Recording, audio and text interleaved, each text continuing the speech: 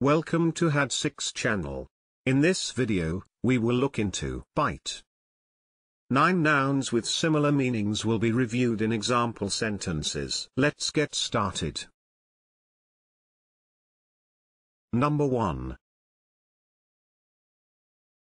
Zest. Which means a quality of excitement and piquancy. Zest. For example, I used to try to beat past records to add zest to my monotonous job.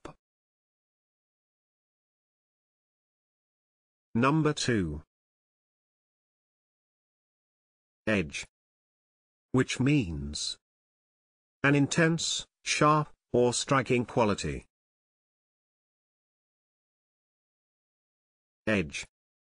For example, a flamenco singer brings a primitive edge to the music.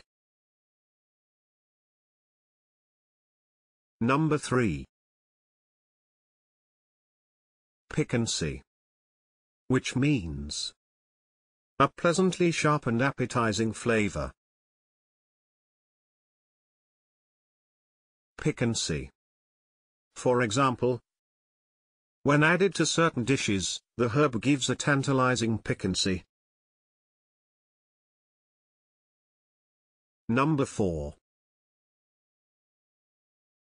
Punch. Which means impact. Punch. For example, strong and full of punch, this album is one of their best. Number 5. Spice which means an element providing interest and excitement. Spice. For example, healthy rivalry adds spice to the game. Number 6. Kick. Which means the sharp stimulant effect of alcohol or a drug.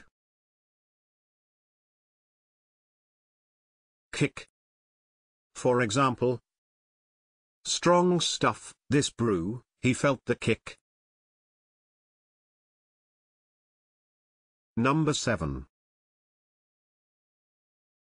Taste. Which means a small portion of food or drink taken as a sample. Taste. For example, would you care for a taste of brandy? Number 8. Tang. Which means a strong taste, flavor, or smell. Tang.